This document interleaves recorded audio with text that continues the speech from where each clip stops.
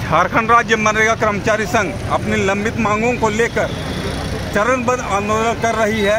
आज सांकेतिक हड़ताल का आखिरी दिन है और सरकार ने अभी तक हम पर कोई पहल नहीं किया है, जिस कारण से आज मसाल जुलूस के माध्यम से हम लोग अनिश्चितकालीन हड़ताल की घोषणा करते हैं। जब तक हमारी मांग पूरी नहीं होती है, तब तक हम लोग अनिश्चितकालीन हड़ताल पर रहेंगे।